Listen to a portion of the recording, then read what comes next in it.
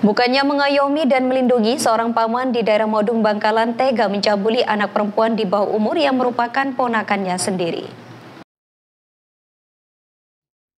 Tanpa perlawanan, AS 45 tahun pelaku pencabulan di Bangkalan akhirnya diamankan jajaran Satreskrim Polres Bangkalan bersama Polsek jajaran di rumahnya. Selanjutnya tersangka digelandang ke Mapolres Bangkalan untuk kepentingan penyelidikan lebih lanjut.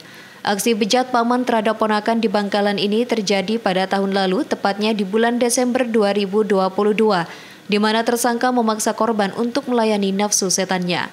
Karena takut dengan ancaman tersangka, korban pun tidak memberitahukan hal tersebut kepada orang tuanya ataupun orang lain.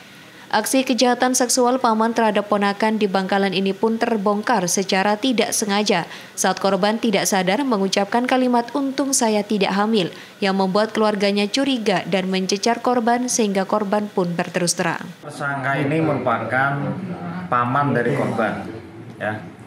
Kemudian status uh, ulangi. Kasus ini terbongkar secara tidak sengaja bahwa pada bulan Mei awal Mei saat korban ini melihat berita portal berita TV ada satu orang gadis yang menjadi korban uh, pelecehan seksual yang dilakukan oleh pamannya sendiri dengan TKP di Jakarta.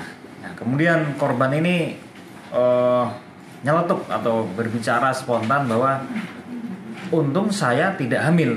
Nah, dari situlah keluarga korban menanyai uh, korban dan uh, mencecar dengan banyak pertanyaan hingga akhirnya korban mengakui bahwa dirinya pernah disetubui oleh pamannya sendiri pada bulan Desember tahun 2022. Selain mengamankan tersangka, polisi juga berhasil mengamankan barang bukti saat kejadian. Atas perbuatannya, tersangka terancam pasal 81 UU RI tahun 2002 tentang tindak pidana kejahatan seksual dengan ancaman pidana 12 tahun penjara.